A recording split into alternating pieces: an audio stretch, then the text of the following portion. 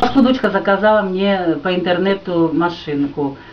Прошло буквально 20 минут, уже звонят из магазина, когда вам ее доставить. Когда вот мальчики привезли, я приехала оттуда, меня сразу привезли, занесли в дом, поставили, все как положено. Даже в это трудно поверить, но это действительно так. Ух